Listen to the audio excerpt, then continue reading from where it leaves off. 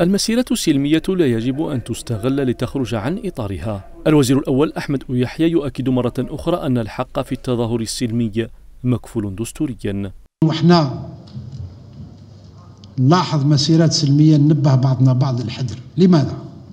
إحنا متيقنين في أبناء الجزائر لكن متخوفين من لي مانيبيولاسيون مناورات.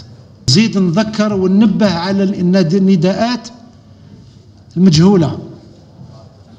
اللي يسوقوا صافي يقول أنا قدور بن قويدر أنادي لي أو أنا جمعية كذا أنادي إلى. لماذا التستر؟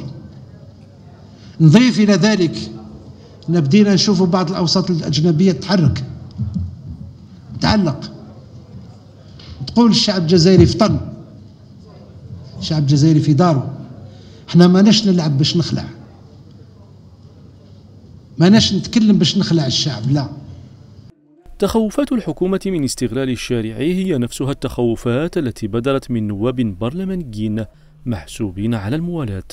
أدعو هذا الشباب للتعقل ولي يعني التعبير عن رأيه بكل حرية اللي كفلها له الدستور الجزائري.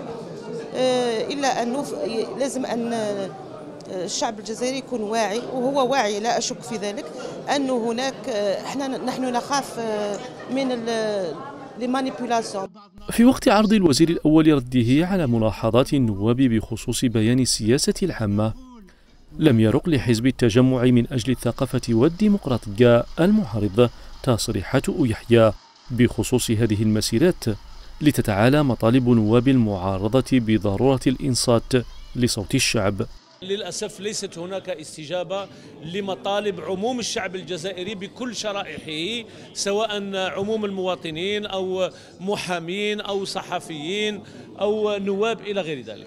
بين الدعوات للمسيرات السلمية وتحذير السلطات من استغلالها لأهداف مشبوهة تتعالى نداءات تغليب لغة العقل لتجنيب البلاد مخاطر أمنية.